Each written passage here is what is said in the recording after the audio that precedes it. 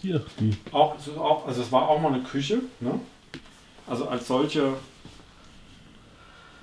nicht, nicht zu erkennen oder nicht, also man kann es sich überlegen, ne? Da steht Ofen, da ist ein kleiner Geräteschuppen.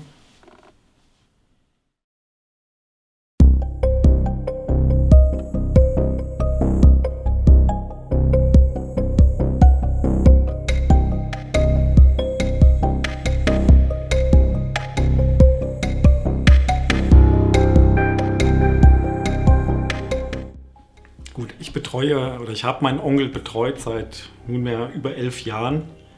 Und ähm, er hatte jetzt in den letzten Jahren zunehmend auch mit Demenz zu tun, ist dann im Oktober gestürzt bei einem Besuch einer Messe. Äh, wurde da nach, nach mehreren Komplikationen operiert, äh, ist dann an, mehrfach an Corona erkrankt, zweimal und ist dann letztendlich am 27. November verstorben, äh, an einem Samstag. Und ich bin daraufhin am nächsten Tag, also an dem Sonntag, um gegen 13 Uhr, äh, in das Haus, das ich ja kannte, in dem unteren Stockwerk äh, lediglich. Die beiden oberen Stockwerke kannte ich nicht. Und äh, ich wusste aber, dass im oberen Stockwerk sein Arbeitszimmer ist.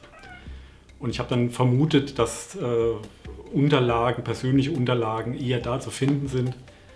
Und bin also gleich in dieses, ähm, in dieses Arbeitszimmer, das dann sehr, sehr ja, unaufgeräumt oder sehr, sehr, sehr, sehr chaotisch. äh, Ich habe es also sehr chaotisch vorgefunden, überall Papier, Bücher und Bilder und was auch immer. Ich habe aber ähm, ja, zu meinem großen Entsetzen mit zwei, drei Griffen intuitiv äh, äh, Unterlagen plötzlich in der Hand gehalten, die äh, mich erstmal schockgefrieren ließen. Also hier schlummerten, was- ich guck mal, ob ich vielleicht noch so einen finde, wo nichts drauf war. Hier solche Filmstreifen hatte ich 700 Stück. Also eine ganze Kiste. Und das war halt schon, also ich habe einen Griff da reingemacht und habe gedacht, holla, Ja. was ist da drauf? Äh,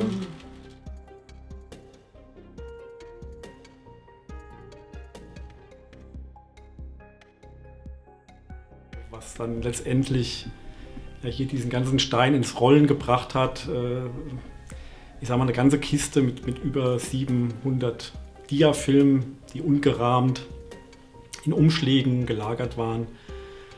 Ja, mit eindeutigem, ähm, ja, zum Teil pornografischem Material.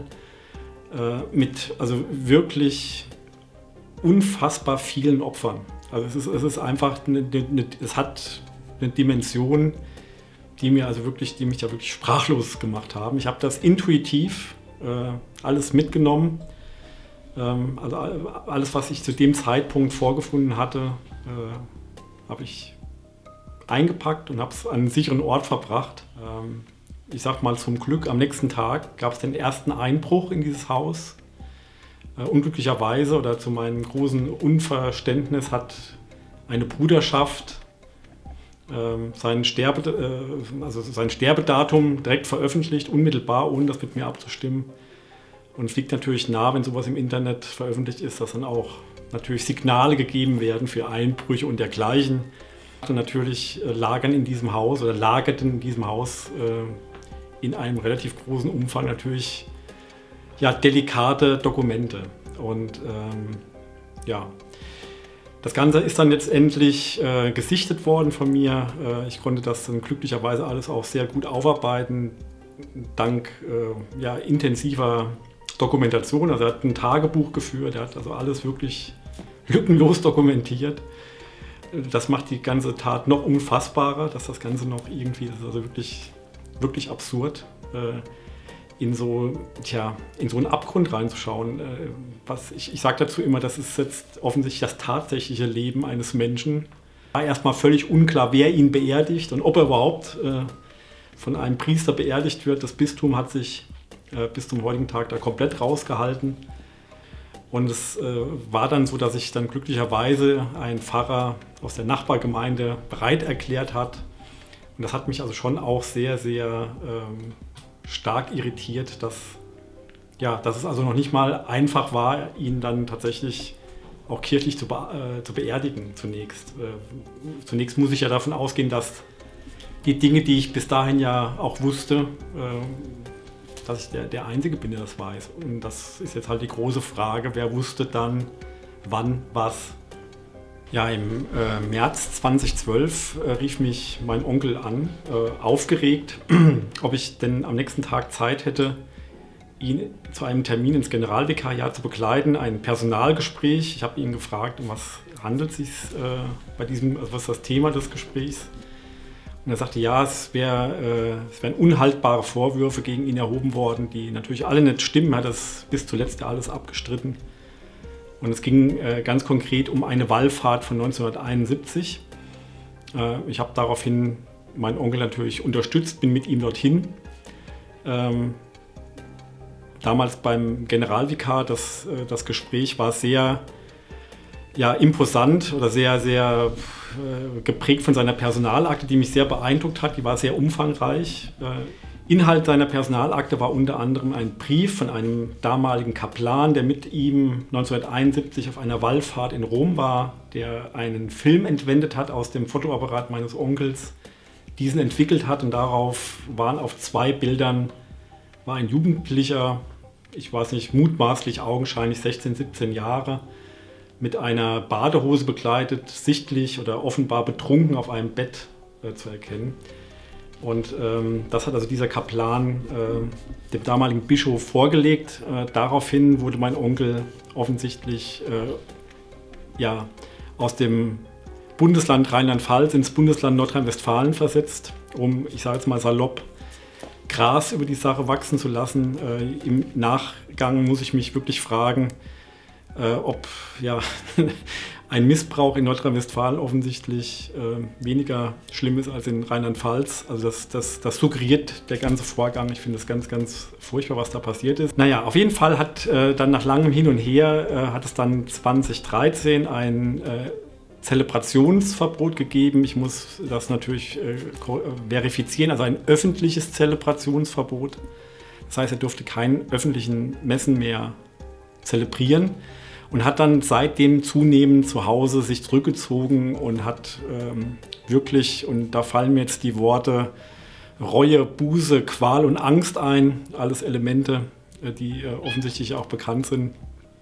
Ähm, ja, er hat sich da sehr, sehr zurückgezogen, wurde dann noch äh, äh parallel mit Demenz, äh, äh ja, also wurde immer mehr demenzkrank. Also er hat dann die letzten ähm, zehn Jahre auf jeden Fall äh, in, in, einer wirklich ja, unglaublichen Umgebung sein, sein Leben gefristet und hat da Buße getan, offensichtlich.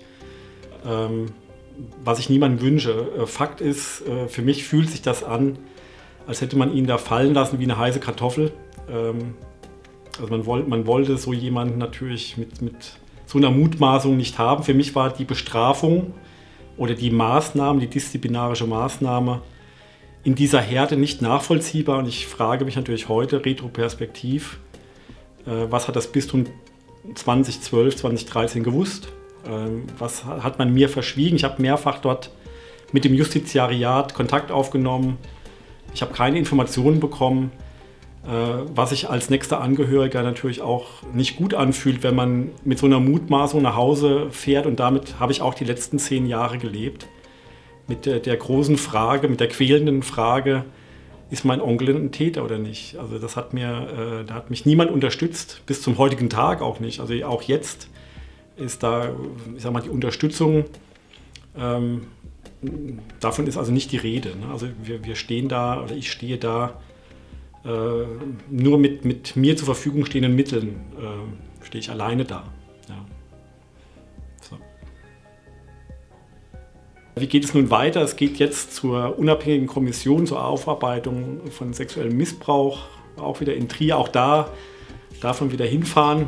Und ähm, also ich bin da schon sehr, sehr gespannt, äh, wo ich noch überall hinfahren darf.